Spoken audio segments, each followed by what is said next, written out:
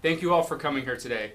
Less than two months ago, we launched our campaign for mayor with a promise to propose an agenda that will move Quincy forward toward an environment where head of household jobs will flourish, where our city services are second to none, and where we plan for the future to make life better for our next generation.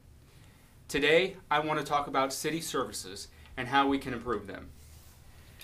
The Moore administration will seek to create a performance driven city of Quincy, a government that strives for the best customer service at the lowest cost for residents.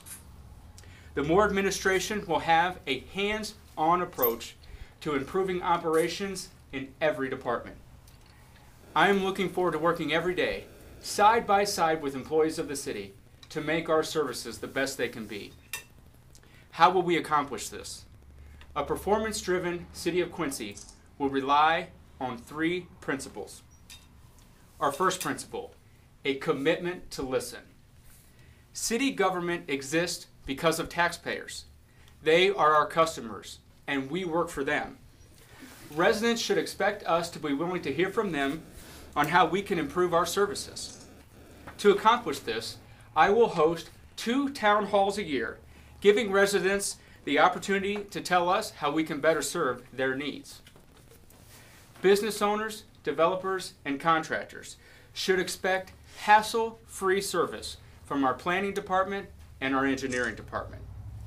As mayor, once a quarter, I will host a contractor's hour inside city council chambers. We will have representatives from our planning and review committee available to maintain an open dialogue with our business owners and contractors on plans they have in development and ensure their needs are being met in a timely manner.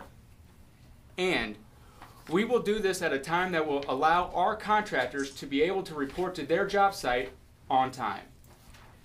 The second principle in a performance driven city of Quincy an equal expectation of service. When residents need something done for them, they should have the right to know their work order has been processed and know a reasonable amount of time it will take for their work to be completed.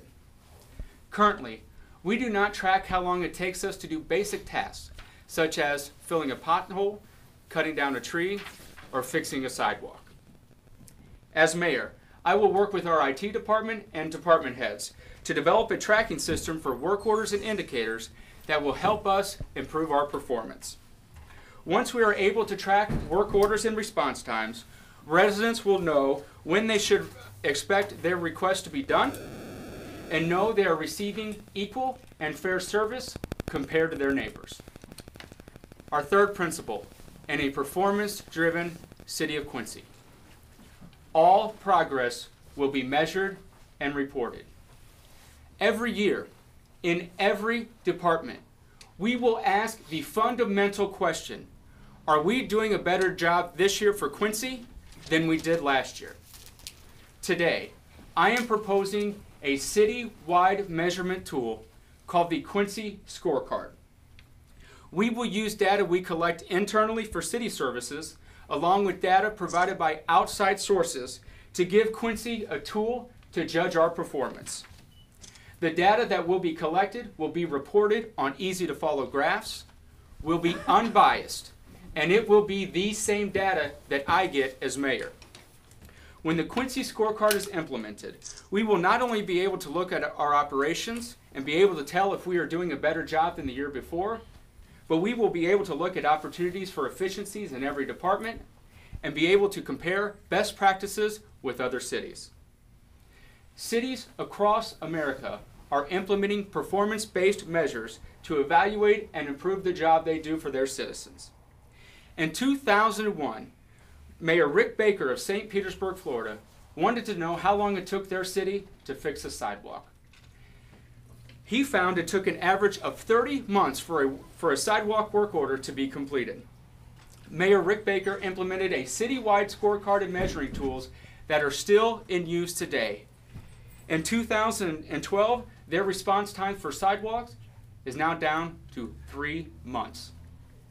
In 1999, Boston Mayor Martin O'Malley implemented a program called CityStat to track their long term problem with absenteeism. With the data collected by the program, The city of Boston was able to save $6 million in overtime pay during the first year it was implemented. The program was ex- ex- expanded and now is in use by every department in their city. I know with commitment from leadership at the top, working alongside employees at every level in our city, Quincy can become a performance driven city. When faced with the question, Are you doing a better job for Quincy this year than last? we will answer yes. Thank you all for coming here.